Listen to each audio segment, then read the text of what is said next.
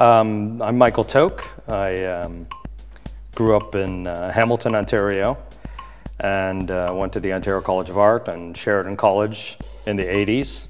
And then um, I'm sort of a mixture of uh, two worlds, filmmaking and, and uh, art together. And my practice is really intertwined in that sort of uh, manner. Uh, when I close my eyes, I see numbers. Um, comes from a vision uh, uh, way of working. I was doing research on uh, numbers uh, and belief systems, how we think about uh, numbers, and then I started running indoors at the gym um, rather than outdoors because it was wintertime. I go on the elliptical and after about 32 minutes, you can close your eyes on the elliptical, and um, after about 32 minutes, your body releases wonderful drugs, um, uh, endorphins, um, and you get high. You really do, and it's wonderful. And uh, through this, uh, through this, I started envisioning numbers smashing together. Every single painting in here comes out from one of the hallucinations that happens after this. And after a while, you know, you become like a junkie for it, and the hallucinations started happening after 10 minutes or whatever. But I, I, uh, you know, I rigorously, you know, it's not perfectly scientific, but rigorously uh, would record what was going on, how it was going on, what I was doing at the time, if things worked out. And uh, so the, th the show seemed that it had to be named. Um, when I close my eyes, I see numbers. The way the works came about is uh, transferring from a hallucination in your head or as anybody knows in a dream uh, the logic doesn't work out in the world. And uh, so uh, it's a process of making studies sketches and there's a lot of small pieces in here.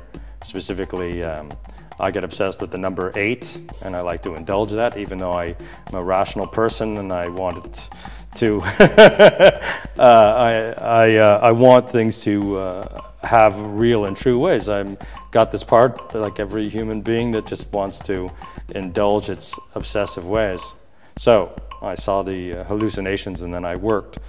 in this, this way I've been working uh, for a while. Um, the studies are all done in a fresco uh, manner.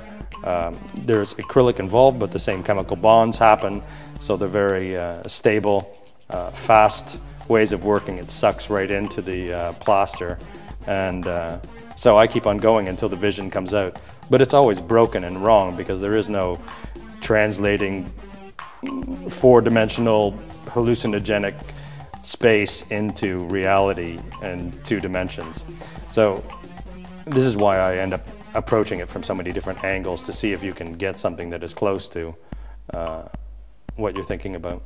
And so I thought with this, I've dealt with luck in the past and, and different ideas and contradicting uh, belief systems. But um, with numbers, I thought, here is a very rational uh, thing, and I can um, uh, indulge people's irrationality with the complete rationality of uh, numbers, juxtapose this, and be able to always bring people back and to say, well, this stands for something that's very realistic and rational.